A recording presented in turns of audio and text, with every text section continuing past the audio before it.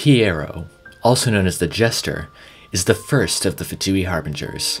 He founded the Fatui alongside the Tsaritsa, personally recruited many other Harbingers, and even witnessed the events of the Cataclysm. In this video, I'll go over what we know about him, as well as potential for him in the future. Also, if you liked this video, consider subscribing. It helps me out a lot and I'd really appreciate it. Anyways, let's move right on and get into the video.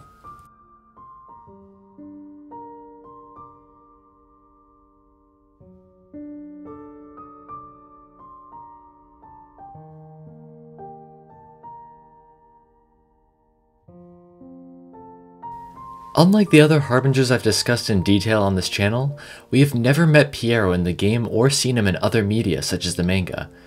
At first, this may make it seem as though we don't know much about him, but that isn't true at all. There have been plenty of lore drops about him, be it through dialogue, artifact and weapon descriptions, or character stories. So to start off, as usual, I'll go over what we know about him. Pierro is the first of the Harbingers, as well as the first member of the Fatui in general, being a co-founder alongside the Tsaritsa, the Cryo Archon of Snezhnaya. He knows what happened in Khaenri'ah, potentially even witnessing the destruction of the Abyssal Nation. In the Mocking Mask description, he claims he could have stopped it, but was ignored by everyone, which eventually caused the nation's downfall and led him to forming the Fatui. After that, he began recruiting members for this group. He began traveling around to Teyvat, trying to find individuals who had been cast aside like Dross in an attempt to convince them to join the Fatui.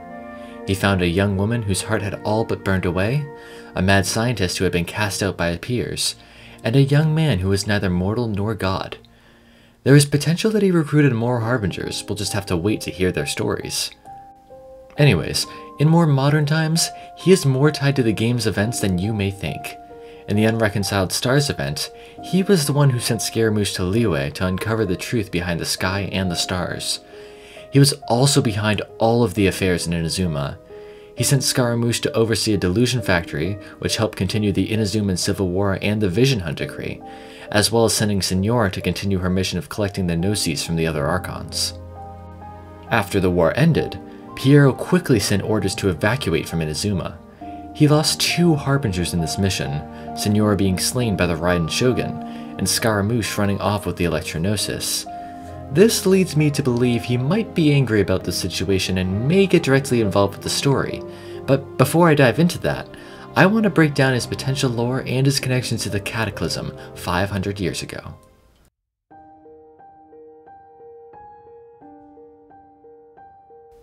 We know from the Mocking Mask's description in the Pale Flame artifact set, which I've gone over in a previous video, that Pierre was alive during the Cataclysm. He claims that he was not on the same level as the other sages, so they didn't listen and tore away the Veil of Sin. Basically, if they had listened, he believes that the Cataclysm would have never happened and that Khaenri'ah would still be thriving. Quick disclaimer here, the sages mentioned here are not the same sages as in Sumeru, the actual translation is more along the lines of the worthy virtuous ones. Still, I do not think this is a reference to vision bearers, but instead a reference to the rulers of Khaenri'ah itself. Perhaps Pierro himself is from Khaenri'ah, and the reason he fights against the Abyss now is as an act of revenge, due to them not listening to him all that time ago. This also means it is possible that Pierro knew or still knows Dainsleif, another character we know from Khaenri'ah.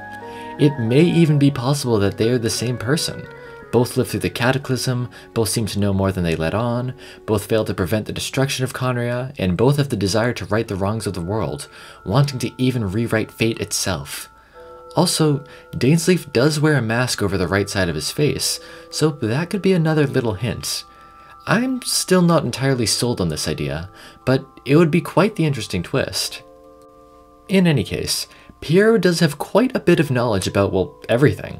He knew that the stars and sky were a lie before he sent Scaramouche to Liyue, meaning he probably wanted him to figure out the truth.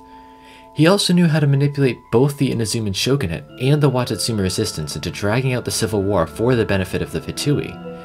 Needless to say, he could potentially be quite a threat in the future, so let's move on to what I believe his story could be going forward.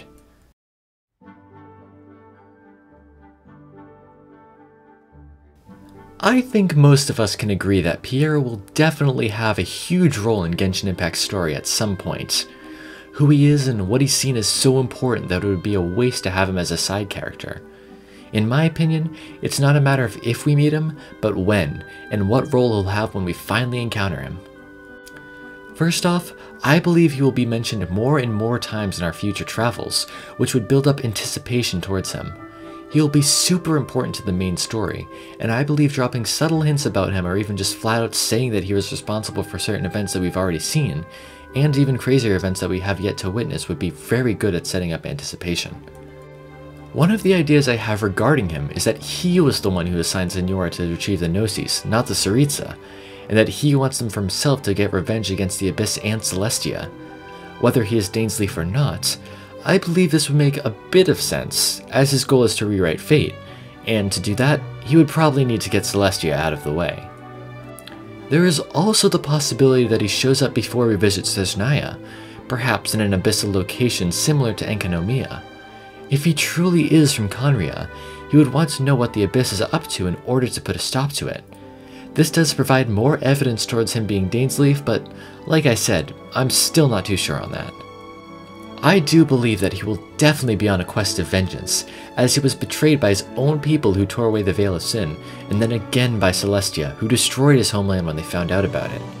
His resentment towards Celestia makes me think he might even betray the Tsaritsa, as she may have had a role in the cataclysm that even he didn't know of.